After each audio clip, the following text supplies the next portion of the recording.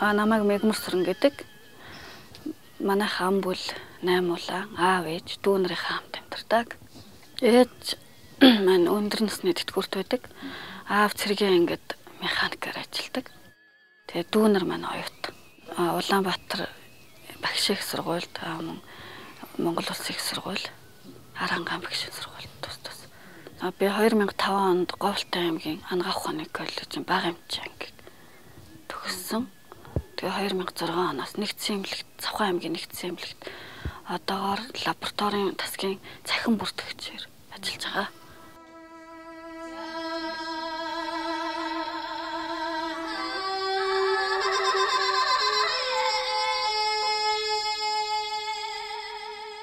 Өглөө 6 цаг 30 минутанд босоод тэгээ өглөөнийхөө цайг бэлтгэжээд ундаа уугаад ажилдаа явдаг.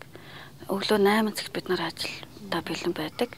Аа тэгээд э, ажлынхаа нөгөө цагийн бүртгэлээр одоогоор нөгөө 8 цагаас э, аймгийн ойтой холбогдуулаад өглөө 8 цагаас ажилдаа очиод ороо 5 цагаас тарж байгаа. А яг 9 цагтаа явах юм бол ажиллах юм бол ороо 6 цагт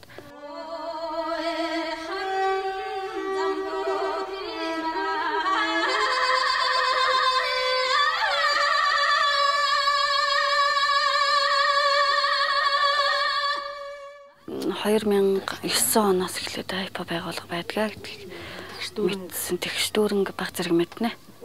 А яг аймагта байгаа тэгш дүүрэнгийн төлөөлөгчийг бол мэддэг. Тэгээд э, бас цаг цав баг мут байдаг учраас тэр бүр тэгш дүүрэн хөтөлбөрийн юунд хамт олонд яг очиж тий хаяа ажиллагаа зохиоход хаяал оролцож байснаас яг бүрэн дүүрэн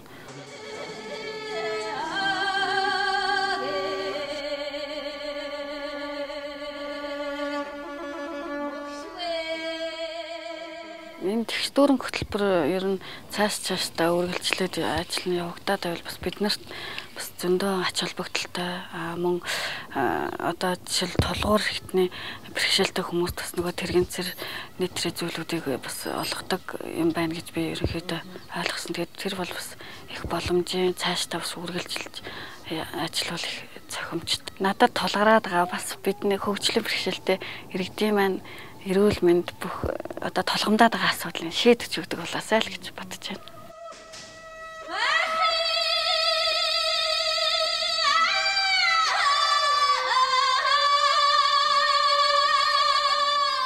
өөрийнхөө мэрэгчлийг дээшлүүлээд тэгээд э, хүнтэй адилхан одоо хүнээс дутахгүй тийм л амьдрал амьдрахсал гэж боддог доо.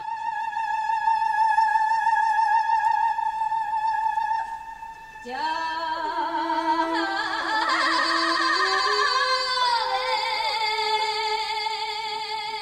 би одоо хөгжлийн бэрхшээлтэй иргэний хуульд зааснаар 111-ийн 1, 111-ийн 3 гэх мэтчлэн хөгжлийн бэрхшээлтэй иргэний ажлын цаг өдөр 7 цаг байх ёстой гэд хууль дүрмийнхаа дагуу би хуулийнхаа эмгэтгэлийг аваад дарга дээр ороход намайг тийм үл ойшоосон өөрөө завгүй байсны тухайд яг ерөнхий дарга бол эмч бол хүлээж аваагүй. Тэгээд би би эрүүл мэндийн байдал бас их олон цагаар ажиллахад ачаалттай миний ажлын хувьд маш их ачаалттай байдаг учраас би энэ байдлаа эмчилгээ хэрэгэлсэн орлого дарах дээр хилээд үнэн байдлаа хилээд хуйлтайгаа танилцуулахад бас хүлээж авсан.